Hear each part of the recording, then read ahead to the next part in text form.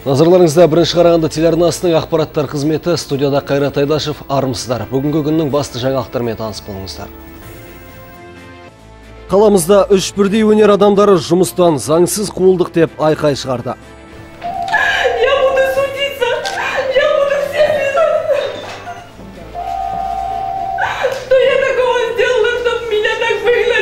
Үстіміздегі жылы қайраткер тұлға ақын жазушы Сәкен Сейфуллиннің туғанына 120 жыл толды. Қаламызда грек-рим күресінен ашық біріншілік өтті. Қаламызда үш бірдей өнер адамдары жұмыстан заңсыз қолдық деп айқай шығарды. Кеншілер мәдениет сарайының маңына бүгін таңғы 9-да жиналғандар басшылық қысым көрсетіп, кетуге арызды мәжбүрлеп жаздыртты дейді.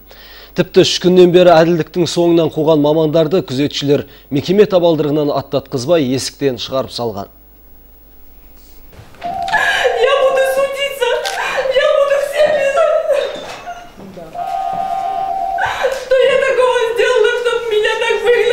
Кеншілер сарайында екі жылдан бері еш сөгіссіз қызмет атқарған Эльмира Орынбаеваның жан айқайы. Үш күннен бері өз кеңсесіне кіре алмай, сарайдың маңын жағалаған әйел жүктілік демалысына бір ай қалғанда жұмыстан не үшін қуылғанын өзі де білмейді. Өңірдің мәдениетін көтеруге барын салам деп кейін халық жау атанған Эльмирадан басқа тағы екі әріптесі бар. мен ештеңе түсінбей отырмын яғни ештеңе деп түсіндіріп те айтқан да жоқ просто біздің деканның охранасына указание берді осы үш адамды бүгіннен бастап кіргізбесін деп бітті 6 октября алтысы күні кешкісін директор бізді өз бөлмесіне шақырып өз еркімен жұмысты босату туралы өтініш жазуды сұрады. Біз жаздық. Өйткені бізге қысым көрсетілді. Бірақ мен заңгер ретінде ол арыздарды заңсыз екенін айта аламын. Шулы іс шаһарға танымал әнші Гүлнұр Оразымбетова гастрольдік сапармен келгенде басталыпты. Шара ұйымдастырумен айналысқан Эльмира Қасыңа тағы 15 адамды жұмысқа тартқан. Сөзінше құрбан айтпен тұспа тұс келген концертті басшылық қайырымдылық түрінде өткізуге бұйрық берген. Осылайша шараны тегін өткізген сарай өкілдері бар шығынды Эльмираның мойнына таққан. 500 мың теңге мойныма ақша ілді. Одан ақталып шықтым. Проверкада проверка уже шаршап кеттік. Енді түбінде келді де, оның ішіне көрсетеді де указание беріп, мені жұмысқа кіргізбейді. Не себеп? Ақшаны қалтаға баспағанын қос әріптес сот арқылы дәлелдеп шыққан. Бірақ бұны да пысқырмаған басшылық кетірудің басқа амалын іздеп, үш бірдей қызметкерге жұмыстан босату туралы өтінішін мәжбүрлеп жаздырды дейді қарағандылықтар. Сорақысы тіпті мөріде жоқ үкімді олардың жұмыс берушілері емес, басқарма басшылығы шығарған. Бірақ заңнан аттағанын болыстардың өздері де мойындамай отыр. и приказ об их увольнении. бұл үш қызметкеріміздің өз еркімен кету туралы өтініштеріне мәдениет сарайының директорының өзі қол қойған сол бойынша үкім де шығардық. Ал кейін олардың не ойлап тапқанын мен білмеймін. Бір тәулік өтпей жатып, жұмыстан кеншілер мәдениет сарайы директорының өзі де шығып қалған, бірақ оның нақты себебі жайлы ешкім жақ ашпай отыр. Ал жұмыстан заңсыз қуылдық деген үш бірдей қызметкер кету туралы өтініштерін кері қайтарыпты. Өйткені қызметтерінен босату тек жұмыс берушілердің тікелей құзырында. Десек те сарайдың табалдырығында аттай алмай жүргендердің орнына қазір өзге кісілер жайғасқан. Мейрамгүл Салқынбаева, Бақтияр Оспанов, бірінші Қарағанды телеарнасы. Тендерді ұтып алу үшін терту кетініңіз өтірік емес. Өйткені ондағы қойылатын талаптар мен нұсқаулар әрдайым өзгеріп тұрады. Осының салдарынан бизнес өкілдері де келеңсіздіктерге ұрынып жатады. Қазір кәсіпкерлер палатасы осы мәселені жан-жақты қолға алып жатыр. Келесі репортажымыз осы төңірегінде. не исполняет законы на местах. Госзакупки, коррупция. Тендер дегенді жеңдерде бұғатын шенеуніктер алдындағы майлы шелпектен қалайда қарпып қалуды ойлайтындар. Осылай дейтіндердің бірі кәсіпкер қанат бұқарбаев. Ол осы күнге дейін өз ісіне қатысты нақты ақпарат алатын мекемені көрмедім дейді. Ал бүгінде облысы кәсіпкерлер палатасынан көмек сұрап отыр.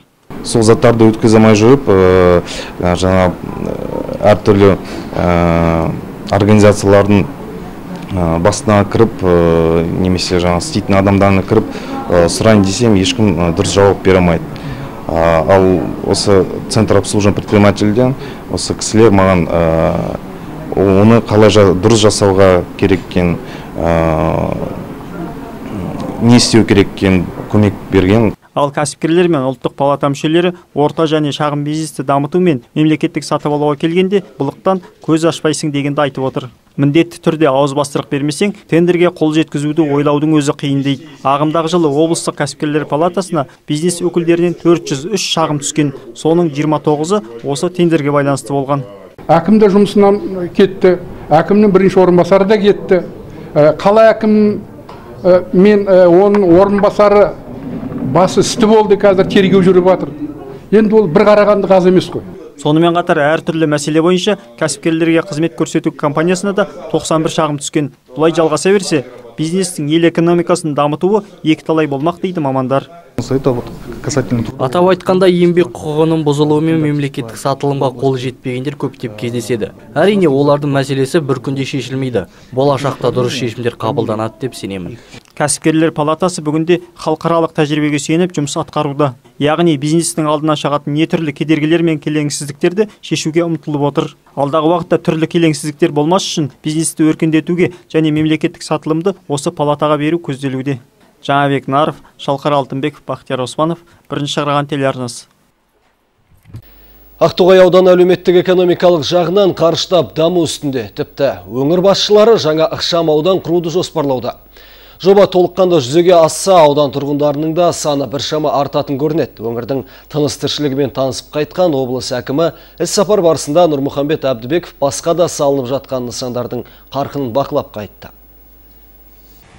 Мемлекеттік бағдарлама аясында Ақтоғай ауданында жаңадан салынған заманауи ғимараттар бой көтеруде. Өңірдегі маңызды нысандардың бірі балаларға арналған колледж жатақханасы. Құрылысы бітпеген бес қабатты кешен толықтай салынып болған соң аудан оқушыларының игілігіне берілмек. Тұрғындар үшін маңызы зор ғимаратты аралаған облыс әкімі аталмыш мекеменің білімді ұрпақ тәрбиелеуге септігі тигізеріне сенімді. Облыс әкімі Нұрмұхамбет Әбдібековке аудан әкімі Нихан Омарханов өңірдің өзекті мәселелерін атап өтті. Мысалы үшін биыл бекзатты капитальный ремонт жасадық тапсық бар енді осыған ливневый канализацияның елу екі миллионға жасап қойдық. Мыналарды хотя бетонға кигізіп и канализацияға сергей владимирович біледі заявка жасамасақ мынау енді мына жағы тау мына жағы өзен. Басқа салатын жер жоқ. Үй салатын орын жоқ. Ем план жоқ. Аймақ басшысы табиғат жағынан дымқыл келетін аудандағы бұл мәселенің жақын күндері шешім табатынына сендірді. Қариялы ел қазыналы ел демекші облыс әкімдігінің басшылары осы өңірдің қарттарымен кездесті. Ақсақалдар қауымы да өз ұсыныстарын жан жақты ортаға салды. Бизнесті дөңгелетіп әкетуге мемлекеттен қолдау ретінде бюджеттен қыруар қаржы бөлінді дегенді алға тартқан қариялар бірнеше жобалардың керектігін тілге тиек етті. Оған жауап ретінде облыс әкімінің орынбасары ғалым әшімов қаржы да бар қолдау да болмақ тек жергілікті азаматтар талпынса болғаны дегенді алға басты. Ақтоғайға анау неден ә, тамбовтан ростовтан ешкім кешегі салмайды. Алматыдан ешкім салмайды. Осы жерден азаматтар керек. Ол салатын болса бүгінгі күнде агробизнес двадцать двадцать деген бағдарлама бар ғой. Оның ақшасы бар. Ол ақша даже кейбір жерлерде игерілмей жатыр өйткені мен сіздерге айтайын бірақ міне менің қолымда бүкіл мәлімет тұр ғой. Мынау басқа аудандармен салыстыра келгенде көлемде келгенде. Сіздер биыл жаңа агрофинанс дейді. Трактор береді лизингке. Білдіңіздер ме? Кредиттер береді несие береді. Аудандағы тағы бір жаңалық ол жаңа ақшам ауданның бой көтеруі болып отыр. 20 гектар жерге келешекте 150 үй салынса, аудан тұрғындары 700-ден аса адамға көбеймек. Тамыры тереңде жатқан өңір осында игістермен де ерекше. Тарих тағылымын дәріптей білген облыс әкімі Нұрмұхамбет Әбдібеков Ақтоғай ауданының өткені өрелі келешек кемелі өңір екендігін тілге тиек етті. Ауданда қандай сұрақтар бар, соны ортаға салып, ақылдасып, болашақта келесі жыл мысалы қандай жұмыс атқару керек соны ақылдасайық деп уәде келіп жатырмын. Осы ақтоғай ауданының ерекшелігі ол баршамызға мәлім деп ойлаймын. Бірқатар нысандарды аралап халық көкейіндегі шешімін таппай тұрған мәселелер талқыға салған аймақ басшысы нұрмұхамбет әбдібеков барлық істің шешім табатынына сенім білдірді. Атқарылып жатқан істерді көзбен көрген облыс әкімі ауданда жүргізіліп жатқан істерге оң баға беріп әрбір қадамның бақылауда болатынын жеткізді. Мақсат бейсенаев олжас габбасов бақтияр оспанов бірінші қарағанды телеарнасы. Құрметті көрермендер арнамызда шағын жарнамалық үзіліс. Бізбен бірге болыңыздар. Спонсор показа Galaxy Group, производитель продукции торговых марок Алюгал, Галвин, Херкюль. Торговая марка Galvin представляет Эконом-серия профиль Галтек 53 серии. Эконом-система трехкамерных профилей монтажной шириной 53 мм представляет собой качественное и экономичное решение. Если вам нужны внутренние перегородки в магазин, офис, балкон или лоджию – это ваш профиль. Стандартная система «Профиль Галвин». Профиль Галвин 60 серии. Это система четырехкамерных профилей с монтажной шириной 60 мм. Идеально подходит для любого климата и региона. Система стандарт относится к классу А, а значит полностью соответствует современным требованиям качеству оконных и дверных профилей. А теперь новинка. Серия «Эксклюзив». Пятикамерный профиль Галвин 70 серии. Монтажная ширина 70 мм. 5 камер и наличие дополнительного паза для резинового уплотнителя значительно повышают тепло- и звукоизоляцию. Толщина лицевых стенок 3 мм. Помимо белого цвета, профиль Галвин выпускается в шести цветах. Золотой дуб, махагон, мореный дуб, темно-коричневый, орех и серый. Но и это еще не все. Имеются профили односторонние, внутренней и наружной ламинации всей цветовой линейки. Все профили торговой марки Galvin и Galtec не содержат свинца и на 100% соответствуют санитарно-эпидемическим нормам. Профиль Galvin – морозостойкий, надежный, прочный. Қазанның 18-ші жұлдызына бастап қаламызда ауыл береке жәрмеңкесі басталады. Осы сенбі күні аталған жәрмеңке Олимпийская көшесінде ұйымдастырылады. Онда өлкеміздің ауылды аймақтарынан әкелінген ет, сүт, көкөніс және тағы да басқа азық-түліктер арзан бағада сатылмақ. жәрмеңкені ауыл шаруашылық басқармасы қала әкімшілігімен бірлесіп ұйымдастыруда. Онда аймақтағы шаруа қожалықтарының өнімдері мен ауыл адамдарының өздері дайындаған еті мен сүті көкөніс пен жеміс жидектер сатылады. Дәстүрлі шара бойынша тауарларға базар бағасынан төмен баға белгіленген. Продукция Тауарлар нарық құнынан 10-15 пайыз арзанға бағаланады. Өткізілетін уақыты алдағы сенбіде қазанның 18-інде және 25-інде болады. Сондай ақ жәрмеңке келешекте де жалғасын табады. жәрмеңкенің орнына жылдағы өткізілетін олимпия көшесі шахтер стадионының қасындағы алаң дайындалған. Қарағанды қаласының әкімшілігі сауда орнын қажетті жабдықтармен жабдықтамақ. Сонымен қатар азық түлік бағасына тоқталсақ еттің бағасы 700 қызанақ 100 картоп пен сәбіз 45 теңгеден сатылады. Жаңабек наров олжас ғаббасов бақтияр оспанов бірінші қараған телеарнасы Алдымызда төтенше жағдайлар қызметі мамандарының кәсіби мерекесі келе жатыр. Мереке алдына олар жыл сайын әртүрлі бағыттағы шараларды өткізуді дәстүрге айналдырған. Биыл олар осы орайда Әлия Молдағұлова атындағы мектеп интернатында болып қайтты. Төтенше жағдай мамандары онда оқушылармен жүздесіп, өздерінің қызметтері туралы мағлұматтар берді. Тілші бейне материалында. Өмірде болып жатқан апаттық жағдай оқыс оқиға сонымен қатар тілсіз жаумен арпалысатын төтенше жағдайлар басқармасы ағымдағы айдың 19 мерейлі күнін атап өтпек. Осыған орай мерекелік іс шаралар мен ақпараттық насихаттау жұмыстары қолға алынған көрінеді. Соның айғағы ретінде өз ісінің білікті мамандары қаламыздың жас буынымен тәжірибе алмасты. Аталған кездесудің мақсат жайлы тілге тиек еткен қуаныш мүталлап мерекелік іс шаралар мұнымен шектелмейтінін айтты. Осы мереке аясында сондай ақ мынау өзіміздің қаламыздың тұрғындары үшін де демалыс күндері арнайы саябақтарда мынау құтқарушылар өз жұмыстарын көрсетеді құтқарушылар қызметімен таныстырылады. Және де басқа да осы мерекелік аясында көптеген шаралар өткіземіз деп жоспарлап отырмыз. Ал әртүрлі спорт жарыстарынан кілең жеңімпаздар бас қосқан жиында нәзік жандылар да болды. Соның бірі былғары қолғап шебері. Ол болашақта әскери қызметкер болуды армандап отыр. Аталған жұмыс нәзік жандылардың да қолынан келетініне күмәні жоқ. Барлық сол ерлер істейтін жұмыстың бәрін істейміз. Бірақтан қыз болғандықтан бізге шамалы ауырлау болады. Бірақ өзімізге ұнайды. Болашақта мен әскери бір колледжге немесе оқу, оқу, оқу орнына түскім келеді. Кездесу соңы оқушыларға өткізілген сабақпен жалғасын тапты алдағы уақытта да мұндай насихаттық үлгідегі жиындардың саны артатын болады Жаңақтарымыз жалғастырамыз. Үстіміздегі жылы қайраткер тұлға ақын жазушы Сәкен Сейфуллиннің туғанына 120 жыл толды. Алаш қайраткерінің мерейтойы республика көлемінде аталып өтуде. Осы орайда облыстық Гоголь кітапханасында Сұңқар Сәкен атты өлкетану клубының отырысы ұйымдастырылды шара барысында қоғам және мемлекет қайраткері сәкен сейфуллиннің ұлттық азаматтық қасиеттері талқыланды. Филология ғылымдарының докторы профессор жандос смағұлов сәкеннің қазақ халқына сіңірген еңбегі мен шығармаларындағы заман шындығын дәлелді дәйектермен ашып көрсетті. Ақынды зерттеуге бар өмірін арнаған академик ғалым тұрсынбек кәкішевтің еңбектеріне мысалдар келтірді. Кәкішевтің сайтына кіріп көрсеңіздер өзін блогы ме сонда сонда тұр. Коммунист. Не істепті сәкен? Киргизская республика болып жүрген кезімізде қазақты қазақ дейік қатені түзетейік деп бірінші бізге қазақ атауын алып берген сәкен тұрсынбек кәкішевтің зерттеулеріне жүгінсек дауылпаз ақын кеңес үкіметіне өз ұстанымына қатты сенген. Алайда алаш арыстарымен жақсы қарым қатынаста болады. Совнарком болып тұрғанда ахмет байтұрсыновтың алғаш елу жылдық мерейтойын өткізіп баяндама жасап ахметті тұңғыш ұлт ұстазы деп атаған да өзі болатын. Жандос ағамыздың сәкен жайлы жалпы тың деректер жеткізуі студенттерге өте қызықты. Сәкен ағамыз тек жазушы ақын ғана емес сонымен қатар ол кісі композитор және әншілік өнерде болған. Ұлыларды ұлықтау арқылы жастардың елін сүюге деген шынайы махаббаты патриоттық сезім оянады. Өзін өзі тануға жол ашады. Жас ұрпақты ертеңгі қайраткерлерді арыстарымыздың өнегесі арқылы тәрбиелесек болашақта өкінбейміз дейді жас ақын жәлел шалқар. Сәкен мағжан сынды өзінің ұлттың ұлы тұлғаларын санасына сіңіріп санасында қайта жаңғыртып ізденіп осы кісілер туралы көптеген мағлұматтар біліп жатса ол өздеріне болашақта осы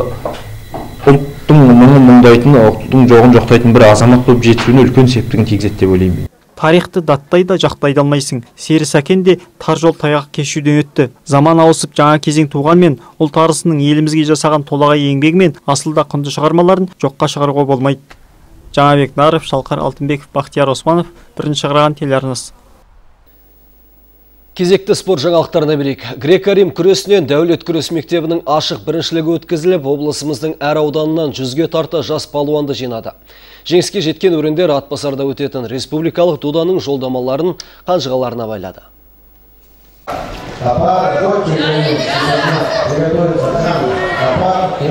2001-2002 жылы дүниеге келген жас өспірімдер арасындағы біріншілік жыл сайын өткізіледі биылғы жарысқа да жүзге жуық спортшы қатысып жүлделерді сарапқа салуда. Бұл турнирдан қазіргі уақытта қарағанды күресінің мықтыларына айналған андрей самохин ерлан исқақов нұрлан әлжановтар жетіліп шыққан болатын.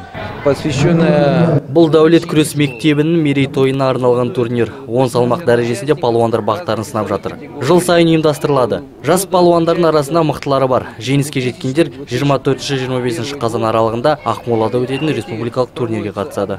Аталмыш додада 38 келі салмақ дәрежесінде ербұлан қуат қатысып жарыс жеңімпазы атанды. Енді ол республикалық турнирмен бірге ел біріншілігінде де өнерін көрсететін болады. Мен күреспен қатысып жүргеніме төрт жыл болды. Мен ал жетістіктерім международный турнирда үшінші орын алдым республиканский турнирда бір алдым. Алда қойған қойған армандарым. Олимпиада чемпионы болып қазақстан чемпионы болып. Дәулет күрес мектебінің ашық біріншілігінде жалпы есептің көшін әлия молдағұлов атындағы спорт интернаттың спортшылары бастаса дәулеттіктер екінші орынға қол жеткізді. Шахтинск қаласының палуандары болса үздік үштікті қорытындылады. Талғат қалиұлы айдын жақан бақтияр оспанов бірінші қараған телеарнасы Кореяның Сеул қаласында өткен самбо күресіне жастар арасындағы әлем біріншілігінде қарағандылық палуан Бағлан Ибрагим 48 келіде күміс жүлдеге қол жеткізді. Бағлан былтырғы әлемдік додада қола жүлдені қанжығасына байлаған болатын. Енді келер жылы алтын алуға бар күшімді салам деп отыр. Жас балуан бірінші кездесуін грузиндік спортшылмен кездесіп, қарсыласын 8-ден 0 есебімен тізе бүктірді. Сонымен бірге украиндық, армяндық күрес шеберлері де қазақ елінің батырынан жеңіліп, үйлеріне жүлдесіз қайтты. Бірақ өкініштісі ақтық бәсекеде ресейлік Амир Чагенға есе жіберуге мәжбүр болды енді жалпы әлем чемпионаты өте жоғары деңгейде өтті оған 32 мемлекетте қатысты шамамен. Мен өзім төрт кездесу өткіздім. Оның ішінде грузин армян балуандармен болды орыс балуанымен болды. Енді алтыннан алтынға алтынға болатын кездесуімде шамалы қателіктер жіберіп орыс балуанымен төртте екі есебімен жеңілдім. Арнамыздың тілшілері әзірлеген жаңалықтардың реті осындай болды. Егерде қандай да бір қызықты ақпараттарыңыз болатын болса, редакциямыздың 42-06-49 телефонына қоңырау шалды ұмытпаңыздар. Мен өздеріңізбен қоштасамын. Амандықта жүздескенше ағайын.